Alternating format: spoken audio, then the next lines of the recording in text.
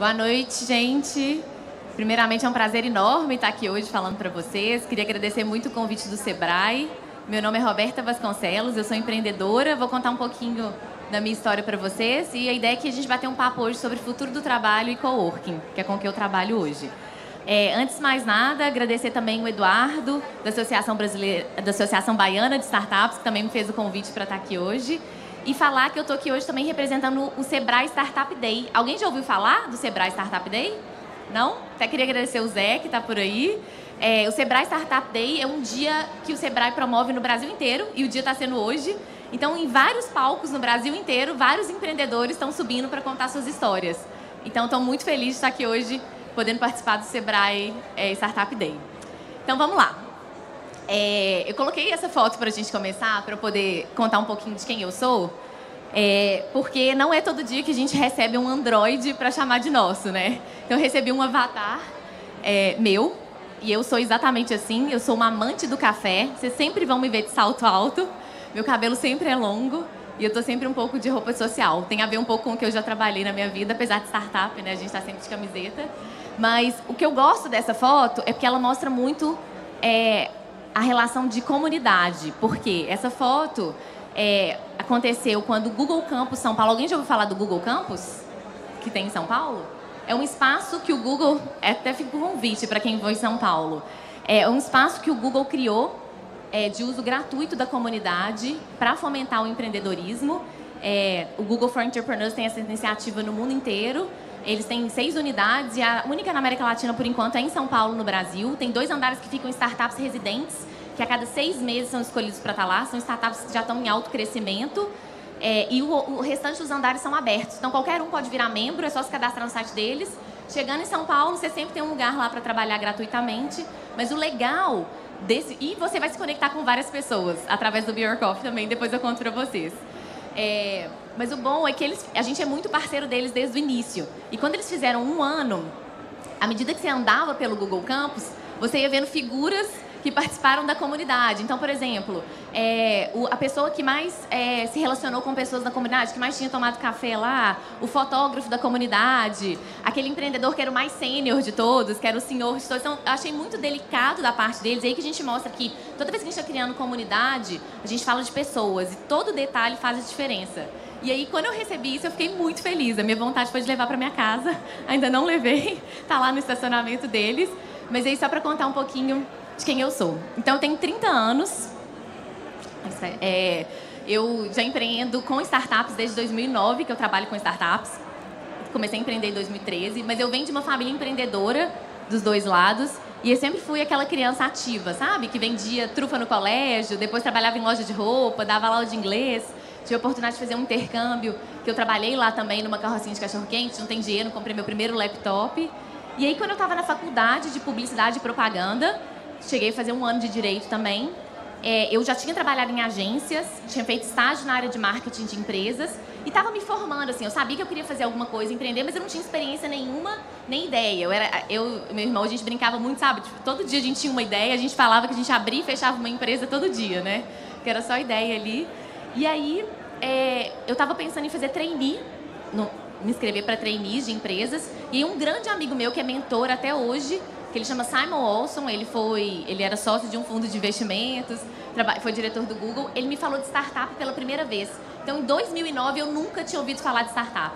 Já estava me formando, estava no último semestre da minha faculdade e não, nunca tinha ouvido falar. E a gente tinha startups em Belo Horizonte que estavam surgindo, que né, tornariam maiores. E uma delas é a Samba Tech. Não sei se alguém aqui já ouviu falar, que é do Gustavo Caetano. Aí ele me falou: manda seu currículo para lá, em vez de fazer treino, trabalhe numa startup. Eu achei aquela ideia muito boa, procurei saber o que a empresa fazia, me inscrevi e entrei para a área comercial. E o interessante é que nós éramos dois apenas na área comercial. Eu e o meu chefe. E a Samba Tech tinha acabado de receber 5 milhões de reais em investimento. Então, eu peguei uma fase da startup de alto crescimento. E o bom de startup, além de você aprender muito, né? É, e ganhar você ganha autonomia muito rápido também, né? Porque você vai crescendo junto com a empresa. E aí, de é, é, estagiária comercial, me formei. Depois de um tempo, eu passei a ter uma equipe comercial e a gente ajudou a montar a área de pós-venda. Isso durante três anos que eu fiquei lá. Mas o mais importante na Sambatec foi que a gente atendia grandes contas. é, a Sambatec é uma plataforma de vídeos online. Então a gente atendia diretores presidentes de grandes empresas. Né? Eu que era da área comercial tinha que fechar com eles. Então imagina, eu tinha 21 anos na época, é, é, eu, eu tendo que falar de tecnologia, né? Não é como hoje em dia, né? Que as grandes empresas estão buscando os jovens que chegam lá de bermuda, de, de, de, de tênis, né? Eu tinha que me vestir de uma certa maneira, me portar de uma certa maneira e mais do que isso, eu tinha que entender de tecnologia. E eu não entendia nada de tecnologia. Então, o que, que eu fazia? Eu sentava do lado dos programadores, me falava, me explica, o que, que é API, o que, que é codec, porque eu vou ter que vender isso, então eu vou ter que passar a entender isso. E foi muito importante, foi muito rica essa experiência. E lá eu descobri o poder da conexão entre pessoas, de você formar uma boa rede de relacionamento e cultivar esse networking. Porque todo mundo que eu conheci lá, é, pessoas de grandes empresas, é impressionante aquilo que o Steve Jobs fala é verdade, né? que os pontos vão se conectando depois da nossa vida, a gente só percebe depois que passa.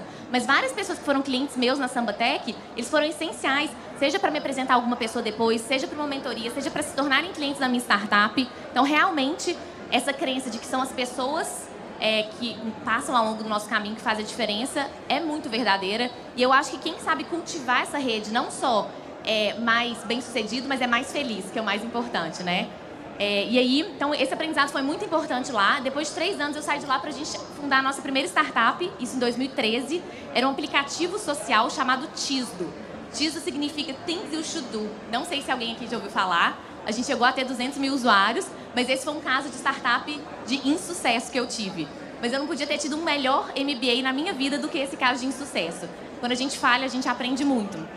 A gente ficou dois anos nessa startup. A gente chegou a receber um investimento, participamos de um programa de aceleração no Chile, chamado Startup Chile, que é do governo. Ele não pega equity da sua empresa, eles escolhem startups do mundo inteiro, investem 40 mil dólares. Tem um programa muito parecido que foi inspirado nele em Minas Gerais, chamado CID, que na nossa segunda startup a gente também teve a oportunidade de participar. Eu gosto muito de contar essas oportunidades, porque eu não sei quem são vocês. Adoraria poder ter oportunidade de conversar com todo mundo, mas não sei se você já tem um empreendimento, se você está pensando em ter uma startup. Então é muito legal a gente saber que existem muitas oportunidades disponíveis no mercado. Então é sempre legal a gente conhecer, e o CID é um, um programa super bacana, a gente pode bater um papo depois também. Mas voltando ao Tisdo, que foi a primeira startup, o que, que era? Vou contar bem rapidamente. Sabe aquela coisa que a gente tem uma lista de coisas que a gente quer fazer na vida? Ah, eu quero me dedicar a uma causa social, eu quero aprender a falar inglês, eu quero ter meu próprio negócio. E a gente identificou que as pessoas deixavam ah, de realizar seus objetivos muitas vezes por desculpas. Ah, não tem tempo, não me organizo, não tenho dinheiro. Mas elas são desculpas. Uma vez que você está motivado e você encontra as pessoas certas no caminho e você se dedica àquilo, você consegue conquistar. Se todo dia você faz alguma coisa para chegar naquele lugar. E a gente falou, vamos usar a tecnologia para ajudar as pessoas a fazerem mais coisas do online para o offline. Só que além de você se organizar, colocar sua lista, porque muitas vezes a gente faz a nossa lista de Réveillon, coloca na gaveta e esquece. Então o aplicativo ia te lembrar, a tecnologia ia criar esses, é, essa sua organização, mas mais do que isso, ela era colaborativa. Então as pessoas, é, era uma rede social. Então assim, se eu quero correr uma maratona, você já correu, você me dava dicas, você servia de inspiração. E aí a gente acabou fazendo parceria com grandes marcas e empresas, porque a gente tinha uma informação do futuro, né? Ninguém precisava me falar que 10 mil pessoas queriam viajar para a Bahia, porque elas escreviam o que elas queriam fazer. Então a gente conseguia trazer promoções, parcerias. Só que eu estava criando uma rede social no Brasil, sem um modelo de negócio bem definido no início, quando a gente começou. Ou seja, a gente teve uma grande dificuldade de monetização. E a gente chegou, né, a, enfim, empatar, mas a gente, a gente viu que aquele negócio daquela forma não ia ser sustentável. É, e aí a gente estava no Startup Chile, analisando as nossas métricas, a gente resolveu tomar uma decisão foi daí que começou o Be Your Coffee. E aí eu vou parar aqui a história. Vou fazer um parênteses para falar um pouquinho para vocês sobre o futuro do trabalho, que tem tudo a ver com o Be Your Coffee. Por que, que a gente está fazendo o Be Your Coffee? Na verdade, ele começou como um aplicativo de conectar as pessoas para um cafezinho, para uma cerveja, como um Tinder de negócios, que às vezes a gente não sabe quem que é a pessoa que está sentada do nosso lado e poderia ser uma ótima pessoa para o nosso negócio. Então você conseguiria, você conseguia ver o perfil profissional da pessoa e se conectar com ela. Mas a gente acabou, mais uma vez, durante o Beer mudando o modelo de negócio, que a gente chama em startup de pivotar, né? E aí eu vou contar um pouquinho disso mais pra frente para vocês. Então, espero que a gente tenha aqui um final de noite super agradável. Acho que eu sou a última da noite, né? A gente está acabando a Campus Party, vai ter um encerramento. E sintam-se à vontade. Sei que tem perguntas no final, mas se eu falar alguma coisa que vocês tenham curiosidade de saber, levanta a mão, a gente vai bater um papo.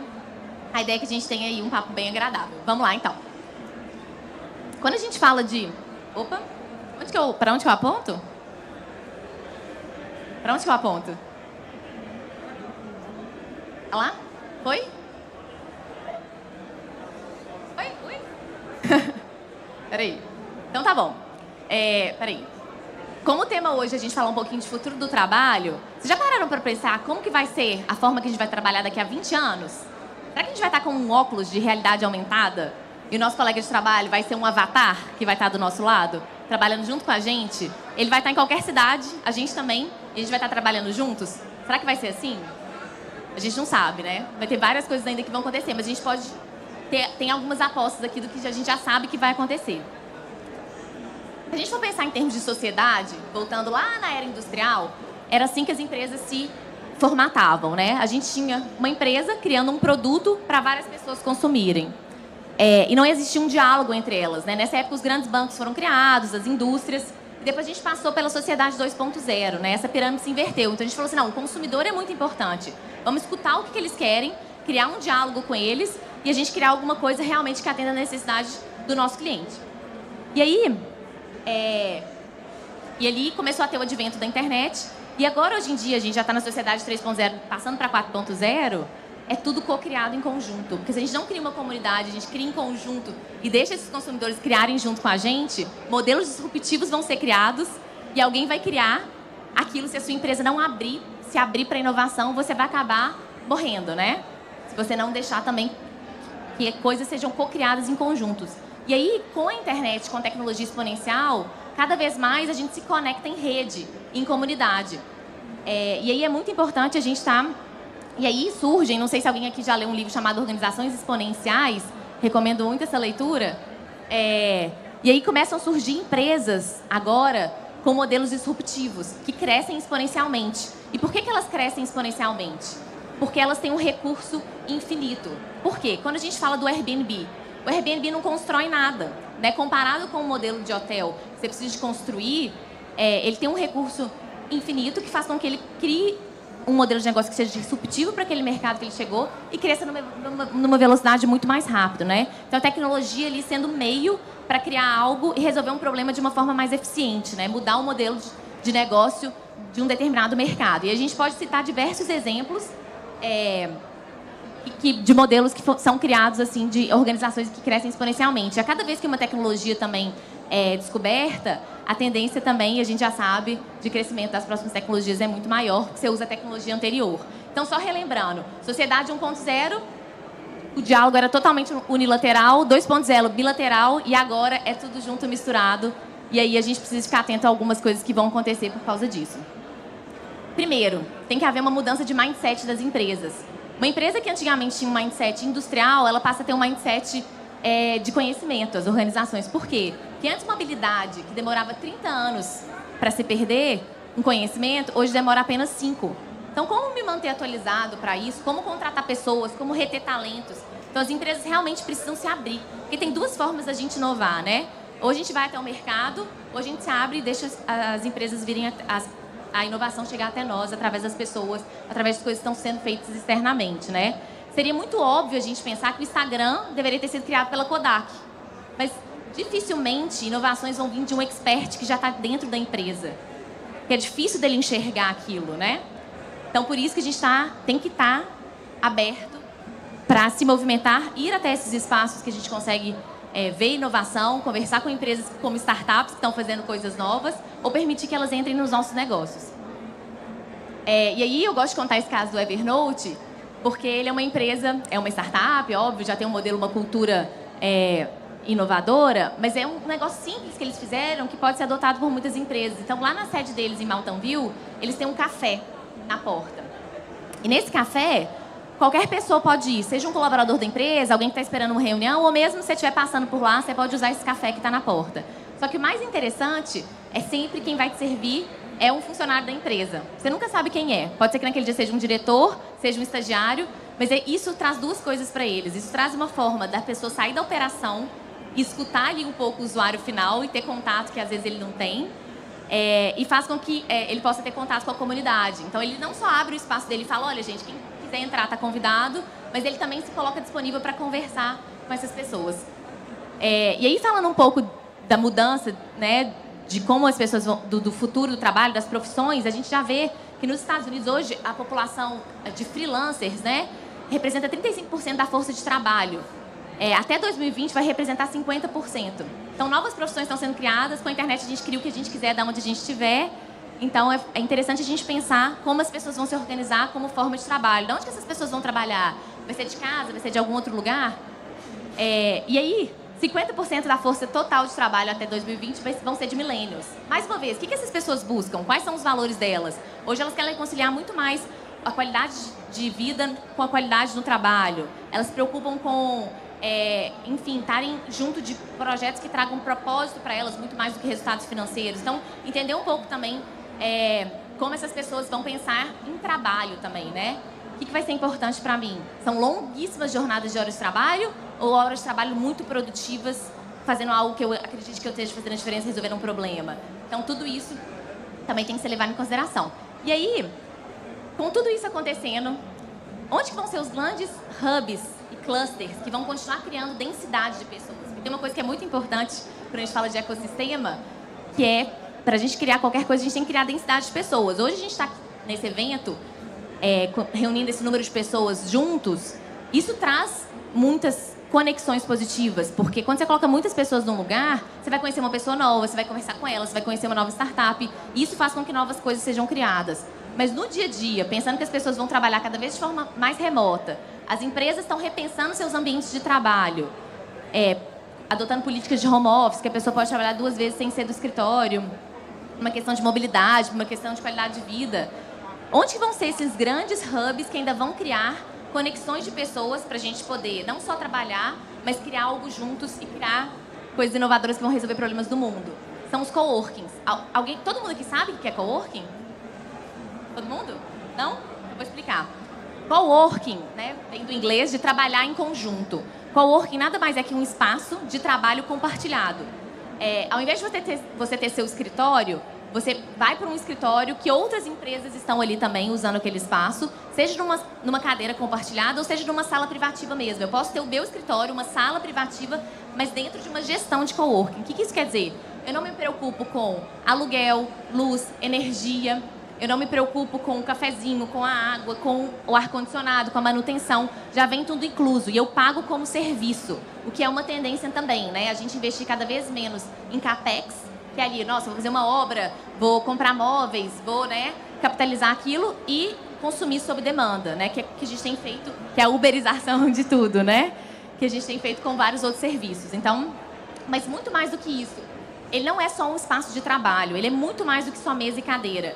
E hoje, gente, assim, é, vou até contar para vocês depois, para as pessoas que não conhecem, terem a oportunidade de conhecer e visitar esses espaços vou contar para vocês no final, mas existe hoje para todos os gostos e estilos, né? E eles são muito mais que só mesa e cadeira. Então, eles são espaços que promovem conexão, conhecimento, porque como tem outras empresas ali, é, aquela empresa que está ali, isso já aconteceu comigo diversas vezes, assim, ela pode ser um parceiro para a gente fazer algo em conjunto, ela pode ser um potencial cliente. E às vezes um cliente da empresa que está do seu lado foi visitar ela e ela te apresenta e ela pode ser um potencial cliente para você. Ou às vezes tem um freelancer trabalhando ali que ele vira seu, seu colaborador.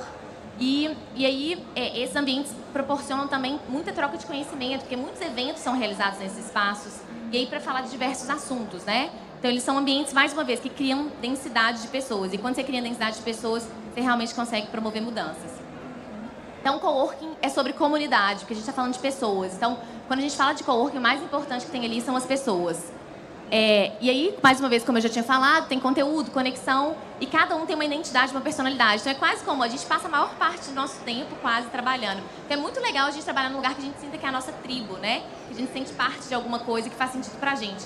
Então, como tem vários estilos, tem para todos os perfis. Tem espaços que são só para startups, tem espaços que são para negócios mais tradicionais, tem espaços que são para arquitetos, então tem de todos os tipos.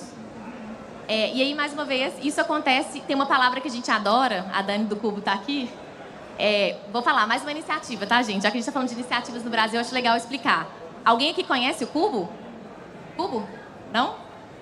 Dois? Tá, vou explicar. O Cubo é uma iniciativa do, do Banco Itaú com a Redpoint e hoje tem várias outras empresas como mantenedoras. Ela é um hub de startups, então é um prédio que foi construído em São Paulo para abrigar startups.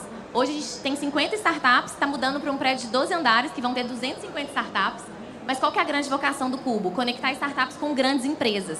E eu, como residente, posso falar assim, é, dar meu testemunho que realmente isso acontece. E tem diversos clientes nossos hoje em dia que são clientes por causa do Cubo, né? O fato de você estar tá lá e deles promoverem essas conexões. É...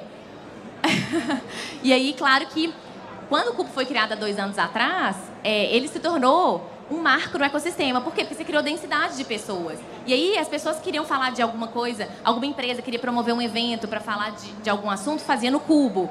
É, que, algum diretor, CEO de grande empresa da área de saúde ia para o Cubo, deixa eu ver as startups aqui de health tech para eu ver o que está acontecendo.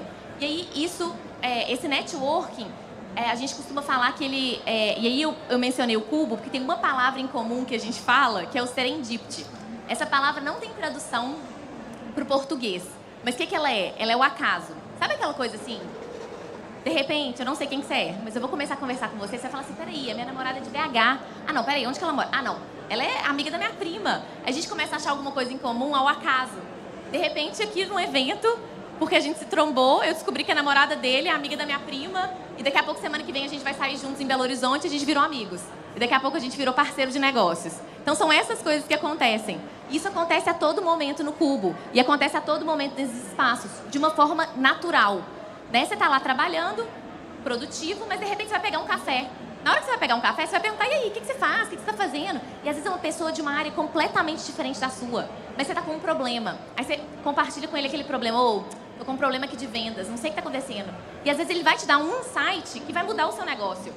Né? Então, assim, quando a gente se abre também para conversar com essas pessoas, é, a diversidade é, é, é, fantástico, tanto que a diversidade pode te ajudar, a visão de uma pessoa que está do lado de fora. Então, assim, estou só dando alguns exemplos. Eu poderia citar várias histórias que já aconteceram comigo, com várias pessoas.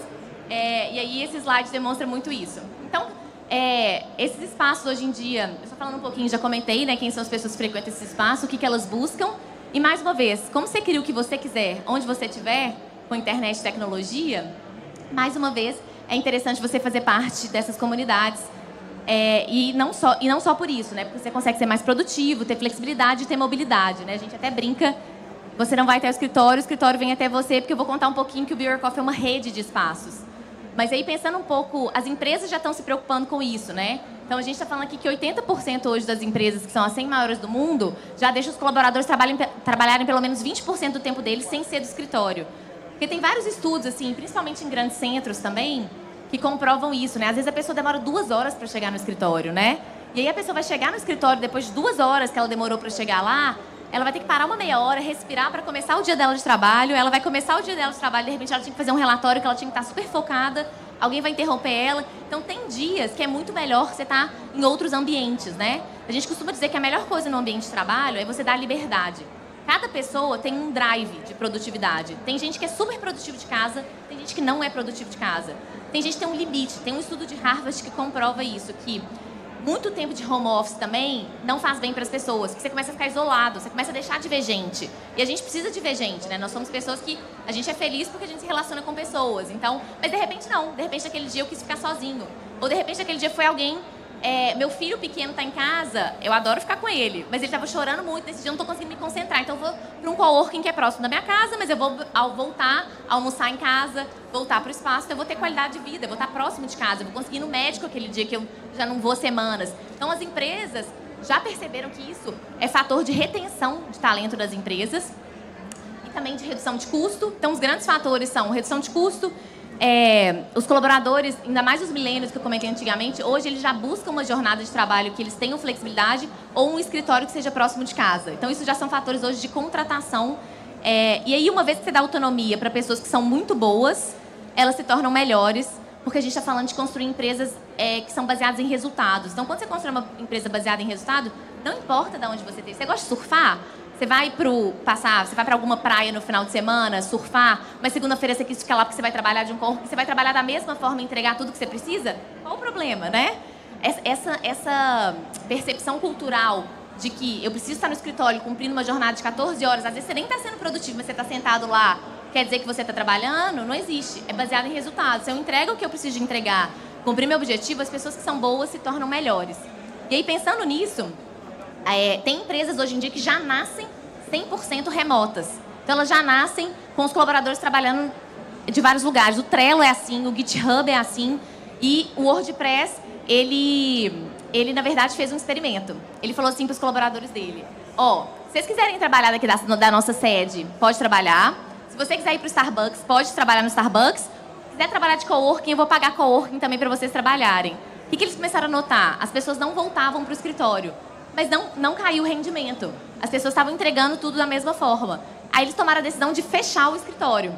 Claro que a gente está falando de uma cultura de uma empresa inovadora. Isso dificilmente nas empresas tradicionais vai ser radical, mas isso já está acontecendo. Começando com flex hours, com trabalhos remotos, com política de home office. E a grande barreira dessas grandes empresas mais tradicionais para adotar uma política dessa não é jurídica, porque a lei já permite, ela é sempre cultural. E ela tem que vir das lideranças. Se as lideranças acreditam nisso e permitem isso, vai dar certo. Então a gente faz muito esse trabalho junto a grandes empresas são clientes nossos hoje. Vou contar mais para frente para vocês também. Tá tranquilo, gente, até agora? Alguma dúvida? Alguma coisa que eu falei? Tem alguma pergunta? Tranquilo. É, e aí, tem algumas pessoas que vão além ainda do coworking. E aí, esses dois doidos aqui criaram um coworking itinerante. Ou seja, você trabalha viajando num trailer que, se, que vira coworking toda vez que ele para. Ou você trabalha lá de dentro. Ele é todo equipado. Eles fizeram um crowdfunding na internet para levantar dinheiro e aí, é, isso é nos Estados Unidos, mas eles, é, você sabe ali qual vai ser o destino, é, e você viaja, e aí tem os nômades digitais. Não sei se alguém já ouviu falar de nômades digitais. São pessoas que viajam trabalhando, trabalham viajando e conciliam isso, mais uma vez, porque usam internet. E hoje tem uma série de ferramentas que ajudam no trabalho remoto. Muita, aqui, muita gente aqui deve usar Slack, é, alguma ferramenta de call. Então, tem tantas ferramentas hoje que ajudam no trabalho remoto. E tem uma comunidade chama Remote Work, que fala só disso também. É, que não tem problema nenhum. É claro que são profissões, tem profissões que permitem mais que a gente faça isso do que outras, né? Tem algumas profissões que você precisa realmente estar próximo ao cliente, quando você é um vendedor ou algo nesse sentido. Mas é, já existe uma comunidade mundial muito grande de nômades digitais, né? Então, de repente, você vai. É, você é um jornalista, escreve para o New York Times, você pode escrever de qualquer lugar. É, você trabalha no. Enfim, e aí tem vários casos de pessoas que trabalham com marketing digital, por exemplo. Tem um pessoal que a gente apoia, o Bjorkov, que eles, eles é uma família, os dois trabalham com marketing digital. É, é, um, um, trabalha com produção de marketing digital, curso online, e, e a esposa trabalha com e-commerce. Eles têm uma Kombi, o sonho deles era viajar ao Brasil com a Kombi. E eles, as duas filhinhas deles, eles dão aula, eles mesmos, particular para elas. E eles podem fazer isso. E eles continuam trabalhando porque a profissão deles permite isso, porque a profissão deles simplesmente só precisa de um laptop e conexão à internet. Então, esses são os nômades digitais, só para ficar mais claro. E por que, que eu estou falando tudo isso para vocês? Estou né? falando de coworking, estou falando de futuro do trabalho, porque justamente a minha startup tem a ver com tudo isso que eu contei para vocês. E a gente descobriu isso, voltando lá atrás da minha jornada empreendedora, quando a gente começou o Be Your Coffee para as pessoas com essa crença que eu e os meus sócios temos, né? Que eu falei anteriormente, tem tudo a ver com a minha jornada profissional. Da importância das pessoas na nossa vida, a gente queria facilitar essas conexões para outras pessoas. Porque a gente, como empreendedor, o que a gente mais fez foi: ah, vamos tomar um café? Vamos tomar uma cerveja? E quantas pessoas no caminho me ajudaram por causa disso? E tem coisas que o olho no olho não substitui, né, gente? Assim, eu acho que a internet é boa para várias coisas, mas eu sempre vou acreditar que as habilidades que nunca vão ser perdidas e o grande diferencial das pessoas vão ser as, as habilidades interpessoais, né? Então a gente tá, essas habilidades é muito importante. E aí a gente começou com isso, eu vou resumir aqui que eu tenho mais 15 minutos, quero abrir para perguntas. É, a gente começou como um Tinder de negócios e aí a gente ficou durante um ano crescendo a base. É, então a gente continuava sendo um aplicativo voltado para o consumidor final quando a gente começou a startup. E aí eu falei para vocês que a gente pivotou, lembra? E por isso que eu contei tudo isso sobre a mudança do mercado de trabalho, porque era por isso que a gente pivotou. A gente estava observando tudo isso e vivendo isso. Mas, no primeiro ano da nossa startup, do Beer Coffee, a gente promovia os encontros em bares, cafés, grandes eventos. Então, por exemplo, a Campus Party mesmo, ou os eventos usaram a gente, TED, Case.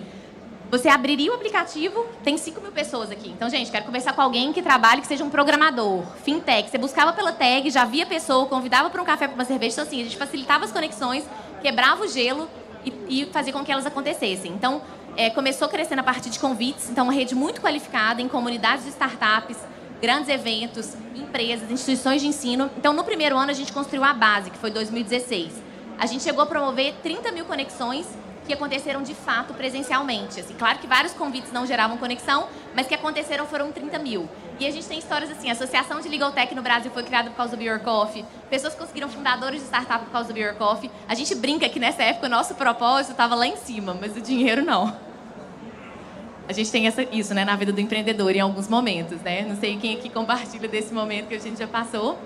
É, outro dia um investidor falou comigo assim, ó, oh, Roberta, são três pivotadas para realmente a empresa dar certo. Eu falei, nossa, yes, estou na minha hora. Porque realmente, gente, quando você olha uma história empreendedora de sucesso, por favor, olha todas as falhas que tiveram antes. Porque com certeza ele quebrou umas três empresas, ou umas duas, ou umas quatro. E é isso que faz com que a gente aprenda, né? E, e transforme os erros em aprendizado. Então, com certeza, quando vocês olharem alguém é, contando só a parte, porque às vezes numa hora de palestra você escuta só o sucesso, né? Mas olha o que tem por trás, porque essa é a hora que a gente mais aprende. Tem muito aprendizado. E aí, é, voltando ao Beer Coffee, a gente estava lá promovendo as conexões, mas mais uma vez com dificuldades no, no modelo de negócio, porque é, a gente ganhava quando a pessoa convidava para um café, para uma cerveja, no bar, você já pagava via o nosso aplicativo, sabe? E aí a gente entendeu, a gente começou a fazer um trabalho desde o início, a gente lançou o Beer Coffee no Cubo, em São Paulo, depois a gente começou a fazer no Google Campus, a gente fazia um trabalho não só de, é, de comunidade, que eu disse para vocês anteriormente, que nesses espaços são muito importantes, é muito importante, mas de fazer evento em conjunto, divulgar. E aí outros espaços de coworking viravam para a gente e falavam assim, ou oh, traz as pessoas aqui para o meu espaço também, cadastra no Beer Coffee para tomar café, cerveja. E a gente, já trabalhando de coworking há muitos anos, né? A gente passou pelo programa do Startup Chile, Seed, todos coworkings, a gente sabendo o benefício disso. A gente também vendo um pouco né, da tendência, do futuro do trabalho, a gente entendeu que, na verdade, tinha um problema maior aí a ser resolvido. A gente poderia levar clientes para esses espaços, né? É, e aí a gente transformou o Beer Coffee numa plataforma de espaços de coworking é, no Brasil inteiro. Isso no início do ano passado. Então hoje a gente tem mais de 400 espaços é, em, em 100 cidades do Brasil. E aí a gente conecta desde profissionais até grandes empresas que precisam de soluções para espaços de trabalho. Então, todo mundo aqui conhece o Gym Pass? Você assina um plano e trabalha de qualquer academia? Ou, é, malha de qualquer academia? O nosso, você assina um plano no Beer Coffee e trabalha de qualquer lugar. Então, por isso que a gente brinca, né? Você não vai até o escritório, o escritório vem até você. E a gente tem diversos planos. Assim, a gente tem um plano ilimitado, que você pode usar todos os dias. Tem de 10 dias no mês, 5 dias no mês. E o nosso plano ele é mais econômico, porque a gente tem uma negociação diferenciada com os espaços. E é um modelo de negócio que a gente usa espaços que estão disponíveis, né? Então, tem um lado também é, de utilizar a, espaços que estão disponíveis para atrair pessoas para o espaço e gerar uma receita extra também. E além disso, se você estiver procurando uma sala também, ah, eu quero uma equipe, uma sala para 10 pessoas na Paulista. Né? Em vez de você ficar procurando, buscando, você precisa de focar no seu negócio, a gente, como plataforma, te dá várias opções com os preços. E além de você ter seu espaço fixo, você também pode acessar a rede no Brasil inteiro quando precisar. Então, olha, hoje viajei para Belo Horizonte, ou então não, estou na minha cidade, mas fui num outro bairro, né? É, posso fui atender um cliente, posso continuar meu dia de trabalho no espaço de coworking mais próximo. E aí, como eu disse para vocês anteriormente, tem para todos os gostos e estilos. Eu não sei quem já teve a oportunidade de ir ou não, recomendo. Aqui em Salvador tem o Rede Mais, está cadastrado na nossa rede, o Alvo, tem vários que vocês vão poder usar. É, e como eu te disse, né, às vezes você quer, ah, eu quero um mais corporativo, né, porque de repente eu vou fazer uma reunião com um cliente que é mais corporativo. Não, quero um que eu possa levar meu cachorro, quero um que eu possa ir de bicicleta. Então tem para todos os estilos. E aí a gente tem alguns cases, assim, a gente trabalha muito hoje, como eu disse anteriormente, como negócio, né? A gente começou trabalhando com público final, então empreendedor, arquiteto, consultor, que precisasse de um escritório de trabalho, e hoje a gente está muito mais focado em grande empresa. E essa foi a grande sacada e a virada para a gente como negócio, que a gente está na melhor fase do negócio, crescendo, batendo meta, contratando. Então, assim, a gente é, acertou o que a gente chama de produto market fit, né, que é achar um produto que tem um mercado para consumir. E agora a gente está numa fase de crescimento. E aí, um dos casos é o próprio Jim Pass, que é nosso cliente, que foi nosso primeiro cliente corporativo. Então, eu fui neles para pedir mentoria. Falei, olha, eu estou fazendo um negócio que é igual ao seu.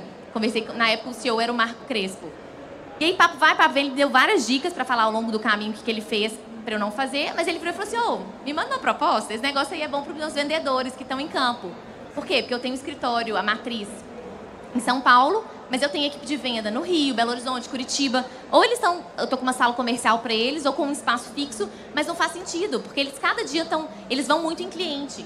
Então, para mim, faz muito mais sentido eles poderem usar onde eles quiserem. Teve uma redução de custo de facilities E eles, na verdade, estão muito mais felizes porque além deles frequentar esses espaços, eles também já tiveram vários casos de conexão e coisas boas para o Pass. Então, é uma maneira também das grandes empresas, aí a gente tem empresas hoje, por exemplo, como a BASF, a Roche, que já é para política de home office que eles fazem isso. Então, sabe aqueles dois dias que você pode trabalhar sem ser do escritório? Às vezes você não tem uma estrutura de internet em casa, ou às vezes você tem né, alguma coisa que vai te atrapalhar naquele dia e você pode ir para o espaço mais próximo. Mas isso também é uma forma de promover uma cultura de inovação na empresa. Porque você fazendo com que colaboradores frequentem esses espaços, naturalmente eles vão ter uma boa experiência, mas eles também vão trazer essas ideias para a empresa.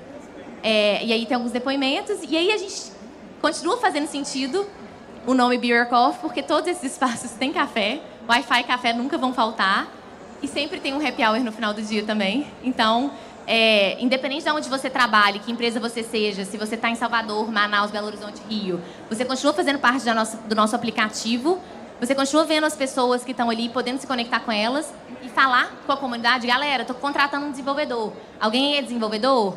Ou, gente, vou fazer um evento aqui no Espaço Tal, vamos participar do meu evento? Então, convido vocês a utilizar, a gente já fez algumas ações aqui em conjunto com a comunidade de Salvador. É, e aí, e espero que a gente tenha boas histórias também aqui com vocês, como a gente já teve anteriormente. Então, aqui são alguns dos números. E voltando um pouquinho, assim, é, a gente já passou por essa fase, né, gente? Em que trabalho, quando a gente olhava essa figura, trabalhar na Revolução Industrial, na época da Revolução Industrial era assim. Hoje a gente resolve um problema, né? Daquela pessoa que está de home office, isolado, que pode achar um escritório, ou que está em viagem, desesperado para mandar uma proposta, fazer uma call, precisa de um escritório perto, ou uma pessoa que está tendo jornadas e não está feliz no trabalho, que é uma qualidade de vida, mas muito mais do que isso, o que a gente quer promover, o que a gente acredita, é que as pessoas podem viver uma nova forma de trabalho, mais colaborativa, mais divertida e mais feliz. Por quê? Porque a gente quer que você passe mais horas com seus filhos. A gente quer que você faça o que você gosta e trabalhe ao mesmo tempo. Porque vão ser nesses negócios e com as pessoas que estão ali que você vai criar e resolver os problemas da nossa sociedade. Então, espero assim que a gente possa ajudar nisso. Convido todo mundo a esse é o time, esse é o time. Nada seria possível sem essas pessoas. É, e convido todo mundo a, a, utilizar, todo mundo que entra tem uma diária gratuita. Fiquem à vontade. Estou é, à disposição. Tomara que a gente se encontre nesses espaços para um café, para uma cerveja. Vou abrir para perguntas aqui, para a gente poder. Acho que a gente tem cinco minutos de perguntas, né? Muito obrigada, gente. Boa noite, obrigada por estarem aqui até agora.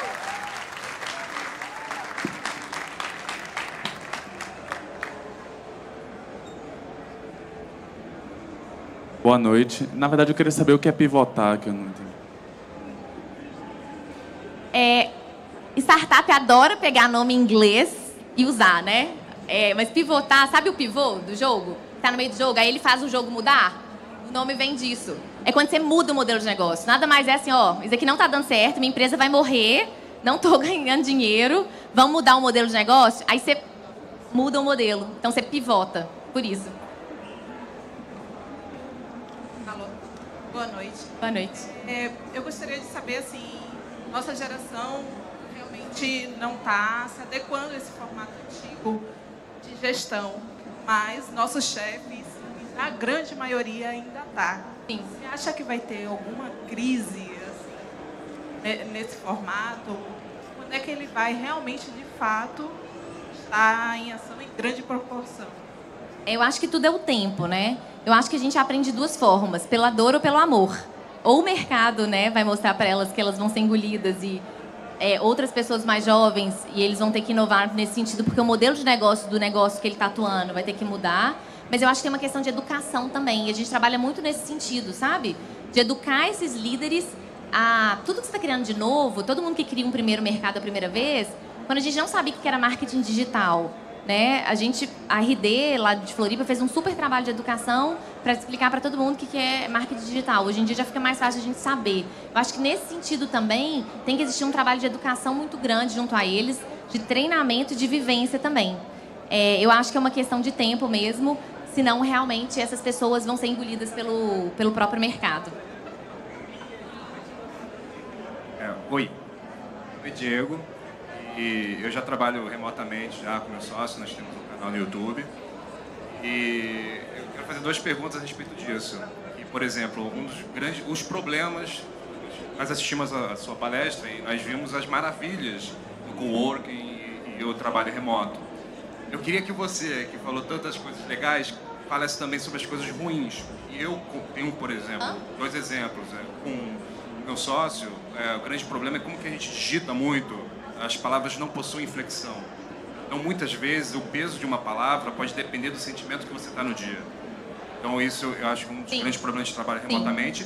E o outro do coworking, eu acho fantástico, maravilhoso, mas também não- você não considera um pouco perigoso a partir do momento que você tem vários profissionais e se num escritório já tem aquela fofoca e já acaba tendo muitos problemas, imagina ter várias empresas com diferentes funcionários.